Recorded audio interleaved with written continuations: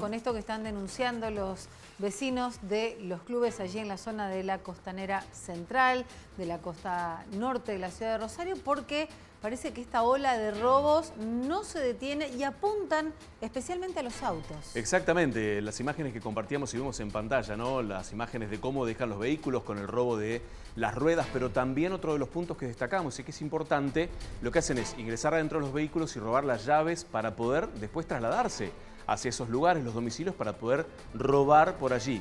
Sacan la tarjeta verde, sacan alguna información y tienen ¿no? el indicio para poder llegar hasta los domicilios y continuar robando. Maxi Ariza con este reclamo en vivo desde la zona norte. Maxi, buenas noches.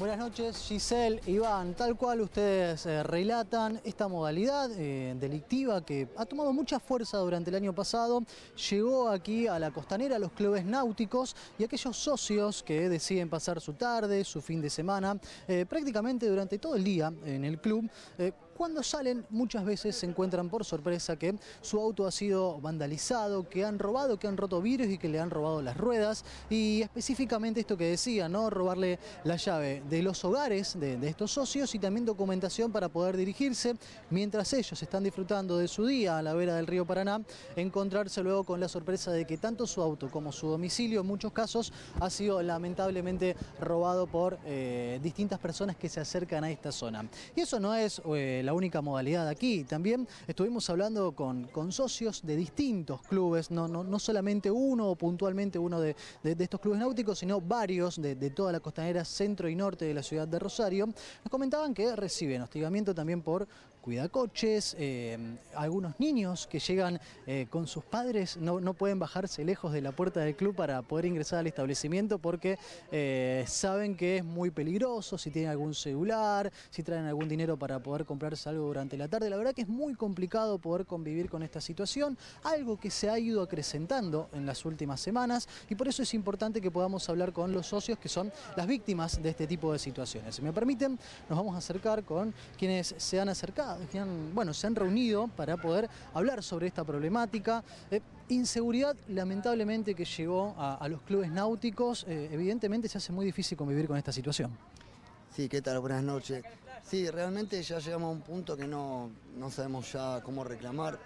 Acá, desde arrebatos, robo en el serrucho, hace poco, ahora dos días, hubo un robo dentro de una de las un estacionamiento de uno de los clubes, guardería náutica, con total impunidad. Bueno, en esos estacionamientos suele haber seguridad. ¿Cómo, cómo fue eso?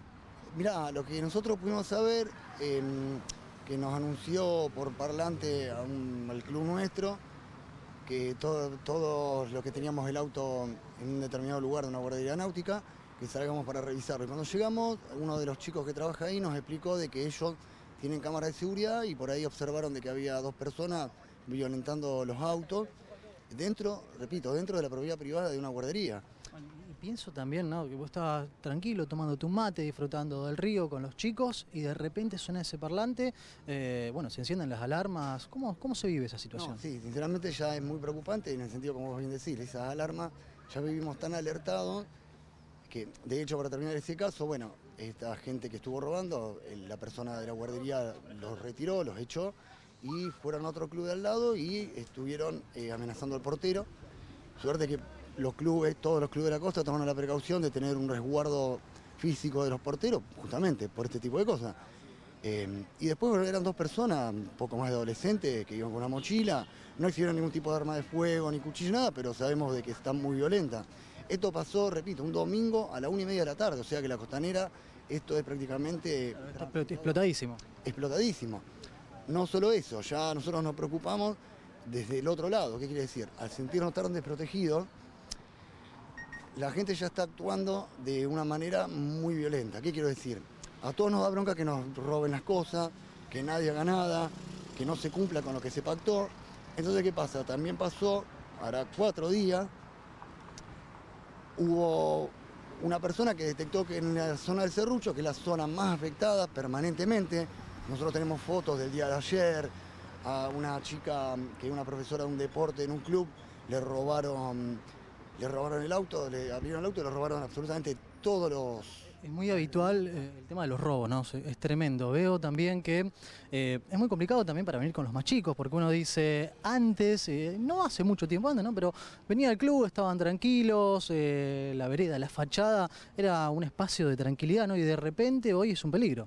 No, sí, tal cual. De hecho, mira, eh, él dice el fin de semana, pero es en cualquier hora. Yo un día vine después del trabajo, estábamos en el club y nos reventaron el auto, nos avisan en portería que nos habían robado, nos rompieron el auto, la ventana atrás.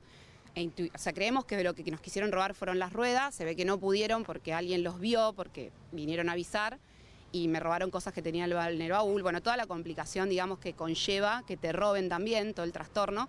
Y a la semana siguiente de que nos habían robado, nos avisan dentro del club que los habían, los que estaban robando y, o sea, yo realmente no sabemos qué es lo que están esperando, o sea, qué- por qué las autoridades no hacen nada, porque el club salió en malón, o sea, o sea, en algún momento va a suceder una tragedia, porque es, suficiente con que los agarre alguna persona muy enojada, porque venimos con robos, constantemente están robando, son ruedas, son vidrios que rompen, o sea, la gente está muy, muy mal. De, de este lado, si no te roban de aquel lado, encima de este lado, como no se puede estacionar, te pasa el zorro y te mete multa. Entonces estás entre que te roban, que te ponen una multa, o sea, o sea, estamos encerrados Pero hay una cuestión de falta de organización, tanto por, el lado de seguridad como también para poder regular un poco mejor el tránsito. O sea, no puede ser que las autoridades no estén enteradas de esto. de- Tienen que regular, o sea, tienen que poner patrullaje.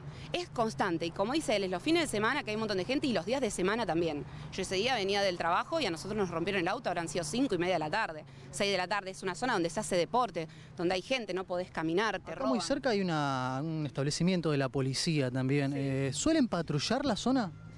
Eh, no, no hay muchos patrulleros. Sí vienen a controlar por el tema de tránsito. Muchas multas, es decir, nos ponen todo amarillo y no podemos de ninguna manera estacionar. Entonces, cuando vos te vas a subir al auto, te dicen, no se puede, acá hay una multa. Bueno, todos vamos renegando todo el tiempo con eso. Si lo dejamos allá, nos roban.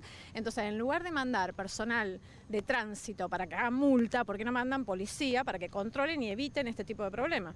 Porque, como vos decías, venimos con los chicos del club porque ya los chicos en la calle no pueden estar ni en la plaza, ni salir a andar en bicicleta, porque no podemos movernos de ninguna manera, porque nos roban en todo momento. Decir, cada uno tiene que andar con la llave así caminando por el barrio porque te roban. No es un club acá, puntualmente, son todos los clubes náuticos. Todos los clubes de la costa. Venimos al club y sí, de Pucio para allá hay, pero bueno. Vamos a- Sí, me decías. No, de que siempre, desde Pucio para allá, hay ocho policías siempre ahí, justo en el que, que hay un centro, Un destacamento, sí. hay un destacamento, pero va de Pucio hacia Florida Paga. Yo recién acabo de pasar ahí, son ocho que están parados juntos siempre, porque los veo siempre, de para allá. Cuando en realidad se sabe que todo el serrucho, hasta pasando Maciel, roban todos los días. Pero todos los días, acá nos han robado, a mí me robaron dos veces, pero roban todo el tiempo, todos los días. ¿Hay algún horario donde suele suceder? El- la una del mediodía y las 6 de la tarde, porque a las 6 de la tarde la gente empieza a hacer actividad física, a correr, a caminar, sobre todo ahora en el verano, la gente sale a la tardecita, entonces ahí frenan los robos, pero entre el mediodía y las 6 de la tarde es todos los días, no solamente los fines de semana.